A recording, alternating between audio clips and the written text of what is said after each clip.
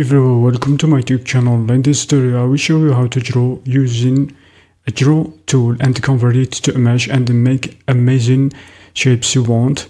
Just in a few seconds. So first things first shift i'm gonna be adding a curve which is Bezier curve. Tap into edit mode just like this. Hit x delete vertices then go over the draw tool. Activate it then hit 3 for the side view. Just i'm gonna be drawing just like this.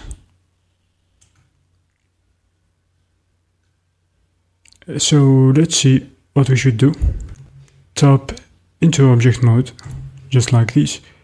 Click on the right mouse button convert to a mesh then go over add modifier. Let's add a screw modifier and you have got this amazing shape like a bottle or something like that just to come play around with different shapes you want and you make a shape you want so just I'm gonna be applying this modifier. Let's add another modifier which is solidify modifier. Set this value to whatever you want. Just like this let's apply it. Let's add another modifier subdivision surface modifier. Set it to 2 or 3 Let's see what we have. Tap into edit mode just like this and we have created this amazing shape as shown here.